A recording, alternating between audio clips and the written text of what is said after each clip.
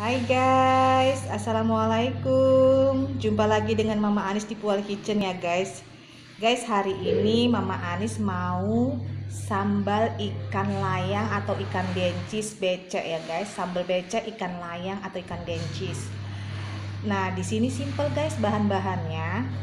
Hmm, Alhamdulillah ini Mama Anis di kulkas ada ikan dencis atau ikan layang Nih ada 6 buah. Ini Mama Anis mau sambal becek. Nanti buat kawan si daun ubi tumbuk, sayur dan ubi tumbuk. Nanti Mama Anis vlog juga nanti. Nah ini di sini langsung aja ya guys.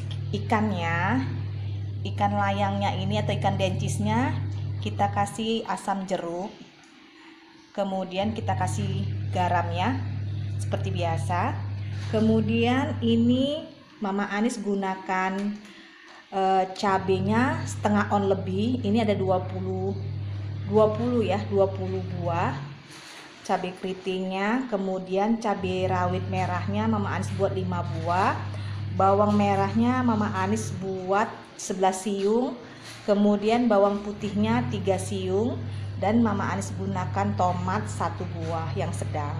Nanti ini di blender kasar ya guys. Guys untuk sambal becek Mama Anis triknya di sambal becek itu di bawang putih ya guys. Bawang putih ini yang menandakan kalau ini sambal becek. Mama Anis buat. Inilah pengharum dan pengenaknya nanti. Oke seperti biasa gula garam dan kaldu.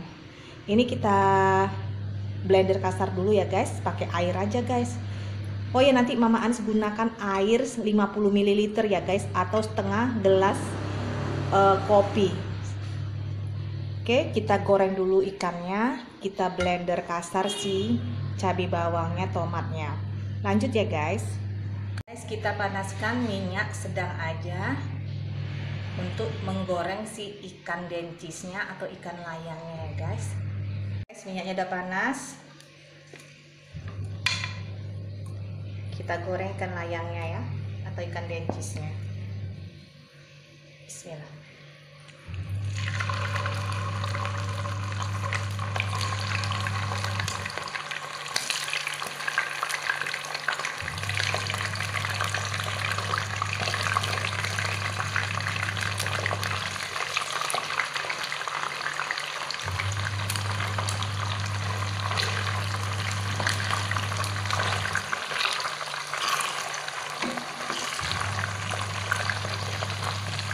Biarkan matang dulu ikannya ya guys. Nggak usah terlalu kering kali guys. Sedang aja ya. Cara ikannya kita goreng kita blender kasar ya. Si bawang merah bawang putih sama cabenya cabai keritingnya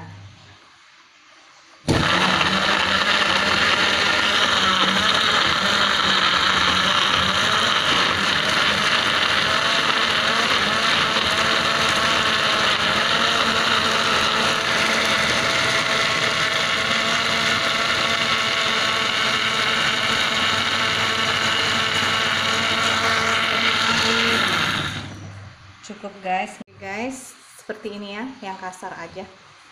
Oke ini kita tumis seperti biasa ya guys. Guys ikan dencis atau ikan layang ini jangan sampai terlalu kering digoreng ya guys karena dia ikannya akan keras. Jadi sedang-sedang aja oke? Jadi dia tidak terlalu kering dan tidak terlalu basah. Baru nanti kita sambal becek ikan dencis atau ikan layangnya ya guys. Lanjut guys setelah matang ikan layang atau kita ikan dencisnya kita tumis si cabenya ya. Kita panaskan minyak untuk kita tumis si cabenya ya guys.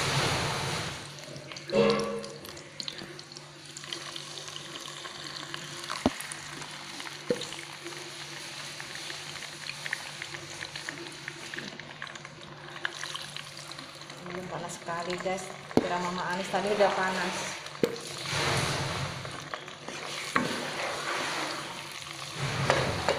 Biarkan dulu ya guys.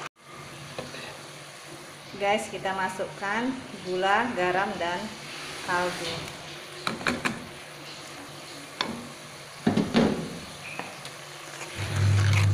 Biarkan sampai agak mengering ya guys. Baru nanti kita masukkan si ikan dan kita beri air 50 ml ya.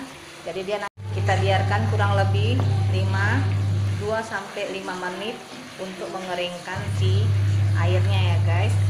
Sekalian kita mematangkan si cabenya. Jadi nanti kalau sudah masuk air yang 50 ml itu tinggal untuk meresapkan si ikan dencis atau ikan layangnya ya guys. Oke lanjut ya guys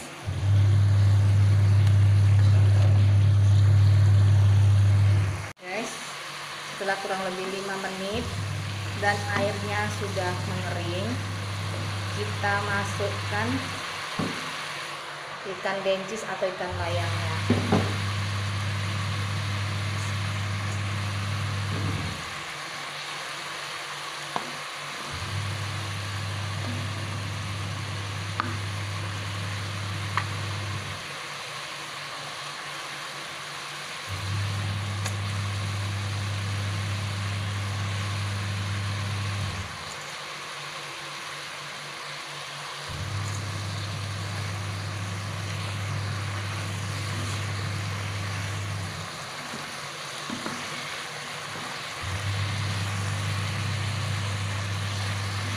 agak susah Mama Anis tangan satu ya guys. Jadi kelihatannya kaku Mama Anis. Karena sebelah tangan Mama Anis pegang handphone.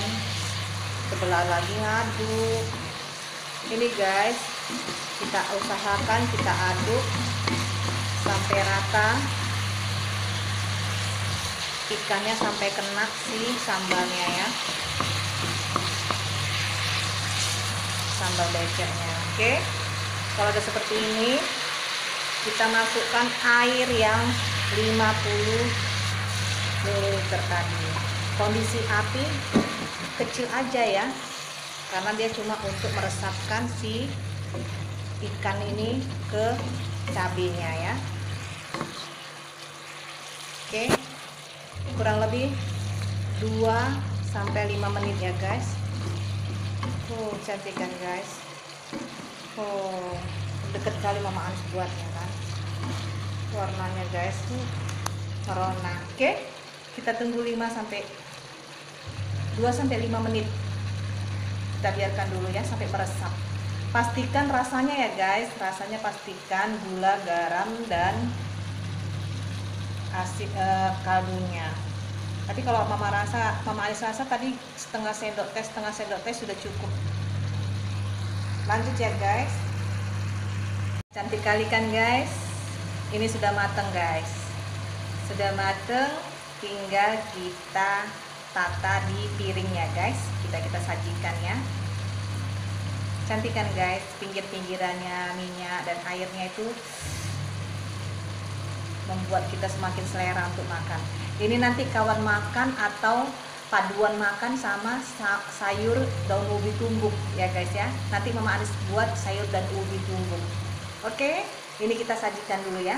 Kita matikan apinya. Kita matikan apinya, ini udah selesai nih. Oke, kita sajikan ya. Dan guys, merah merona sambal becek ikan dencisnya atau ikan layangnya guys. Uh, merona guys. Uh jadi guys kalau dia pakai karot guys perbedaan sambal hasil sambal mama anis dengan mama anis pakai wajan biasa guys. Di warnanya des. Di tekstur warna berbeda guys. Jadi warnanya lebih natural.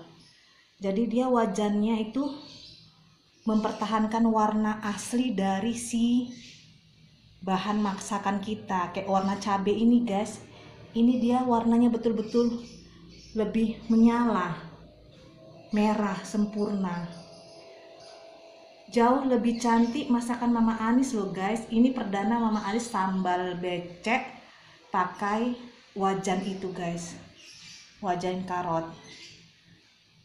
Kelihatan perbedaannya guys. Wow coba ya guys ya. Duh ya Allah enaknya guys. Oke okay guys, demikianlah vlog Mama Anis hari ini. Semoga kalian bisa mengikuti ya guys untuk Anis dan Putri.